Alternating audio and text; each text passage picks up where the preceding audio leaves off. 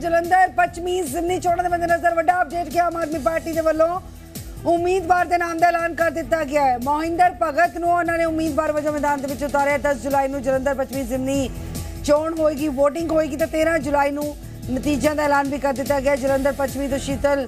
ਅੰਗਰਾਲ ਨੇ ਅਸਤੀਫਾ ਦਿੱਤਾ ਸੀ। ਉਸ ਤੋਂ ਬਾਅਦ ਇਹ ਸੀਟ ਖਾਲੀ ਪਈ ਸੀ। ਤੇ ਹੁਣ ਮੋਹਿੰਦਰ ਭਗਤ ਨੂੰ ਮੈਦਾਨ ਦੇ ਵਿੱਚ ਆਮ ਆਦਮੀ ਪਾਰਟੀ ਦੇ ਵੱਲੋਂ ਉਤਾਰ ਦਿੱਤਾ ਗਿਆ।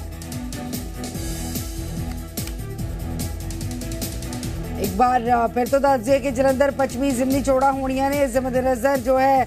ਆਮ ਆਦਮੀ ਪਾਰਟੀ ਦੇ ਵੱਲੋਂ ਉਮੀਦਵਾਰ ਦੇ ਨਾਮ ਦਾ ਐਲਾਨ ਕਰ ਦਿੱਤਾ ਗਿਆ ਮਹਿੰਦਰ ਭਗਤ ਨੂੰ ਟਿਕਟ ਜੋ ਹੈ ਇੱਥੋਂ ਦਿੱਤੀ ਗਈ ਹੈ ਇਸ ਵਾਰ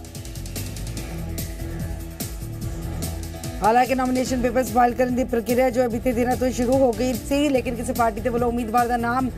ਜੋ ਹੈ ਨਹੀਂ ਐਲਾਨਿਆ ਗਿਆ ਸੀ ਲੇਕਿਨ ਆਮ ਆਦਮੀ ਪਾਰਟੀ ਦੇ ਵੱਲੋਂ ਮਹਿੰਦਰ ਭਗਤ ਨੂੰ ਹੁਣ ਮੈਦਾਨ ਦੇ ਵਿੱਚ ਉਤਾਰ ਦਿੱਤਾ ਗਿਆ ਹਾਲਾਂਕਿ ਕਾਂਗਰਸ ਤੇ ਬੀਜੇਪੀ ਦੇ ਵੱਲੋਂ ਕਿਸ ਨੂੰ ਮੈਦਾਨ ਦੇ ਵਿੱਚ ਉਤਾਰਿਆ ਜਾਏਗਾ ਉਸ ਦੇ ਪੱਤੇ ਹਜੇ ਖੁੱਲਨੇ ਬਾਕੀ ਨੇ ਜਲੰਧਰ ਪੱਛਮੀ ਹਲਕੇ ਦੀ ਜ਼ਿਮਨੀ ਚੋਣ ਦੇ ਲਈ ਅਗਰ ਕਾਂਗਰਸੀ ਉਮੀਦਵਾਰ ਦੀ ਗੱਲ ਕੀਤੀ ਜਾਏ ਤਾਂ ਕਈ ਦਾਅਵੇਦਾਰ ਨੇ ਲੇਕਿਨ ਸੁਰਿੰਦਰ ਕੌਰ ਦੇ ਨਾਮ ਤੇ ਮੋਹਰ ਲੱਗ ਸਕਦੀ ਹੈ ਲੇਕਿਨ ਇਹ ਫਾਈਨਲ ਹਜੇ ਨਾਮ ਨਹੀਂ ਕੀਤਾ ਗਿਆ ਹੈ ਜਲੰਧਰ ਅ, ਜ਼ਿਮਨੀ ਚੋਣਾਂ ਦੇ ਮੱਦੇਨਜ਼ਰ ਅ, ਔਰ ਨੋਮੀਨੇਸ਼ਨ ਪੇਪਰਸ ਫਾਈਲ ਉਮੀਦਵਾਰਾਂ ਦੇ ਵੱਲੋਂ ਕਰਨੇ ਸ਼ੁਰੂ ਕਰ ਦਿੱਤੇ ਜਾਣਗੇ ਕਿਉਂਕਿ ਆਮ ਆਦਮੀ ਪਾਰਟੀ ਦੇ ਵੱਲੋਂ ਮਹਿੰਦਰ ਭਗਤ ਨੂੰ ਮੈਦਾਨ ਦੇ ਵਿੱਚ ਉਤਾਰਿਆ ਗਿਆ ਹੈ ਚੁੰਨੀ ਲਾਲ ਭਗਤ ਦੇ ਬੇਟੇ ਨੇ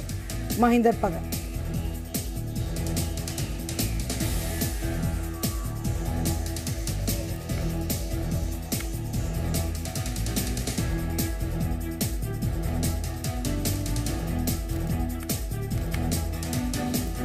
ਵਾਰ ਫਿਰ ਤੋਂ ਦੱਸ ਰਹੀ ਹੈ ਕਿ ਮਹਿੰਦਰ ਭਗਤ ਨੂੰ ਮੈਦਾਨ ਦੇ ਵਿੱਚ ਉਤਾਰਿਆ ਗਿਆ ਹੈ। ਸਾਬਕਾ ਕੈਬਨਿਟ ਮੰਤਰੀ ਰਹਿ ਚੁੱਕੇ ਨੇ ਭਗਤ ਚੁੰਨੀ ਲਾਲ। ਉਹਨਾਂ ਦੇ ਬੇਟੇ ਨੇ ਮਹਿੰਦਰ ਭਗਤ, ਜਿਨ੍ਹਾਂ ਨੂੰ ਮੈਦਾਨ ਦੇ ਵਿੱਚ ਆਮ ਆਦਮੀ ਪਾਰਟੀ ਦੇ ਵੱਲੋਂ ਉਤਾਰਿਆ ਗਿਆ ਹੈ। ਵਾਰ ਆਮ ਆਦਮੀ ਪਾਰਟੀ ਦੇ ਵੱਲੋਂ ਮਹਿੰਦਰ ਭਗਤ ਨੂੰ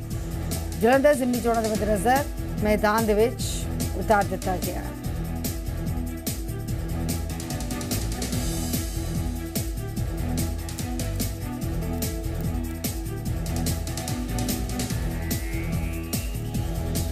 ਇਸ ਵੇਲੇ ਦੀ ਵੱਡੀ ਖਬਰ ਆ ਰਹੀ ਹੈ ਜਲੰਧਰ ਪੱਛਮੀ ਦੱਸਦੇ ਕਿ ਸ਼ੀਤਲ ਅੰਗੁਰਾਲ ਜੋ ਬੀਜੇਪੀ ਜੁਆਇਨ ਕਰ ਗਏ ਲੋਕ ਸਭਾ ਚੋਣਾਂ ਤੋਂ ਪਹਿਲਾਂ ਉਸ ਤੋਂ ਬਾਅਦ ਇਹ ਸੀਟ ਖਾਲੀ ਪਈ ਸੀ ਔਰ ਹੁਣ ਇਹ ਜ਼ਿਮਨੀ ਚੋਣਾਂ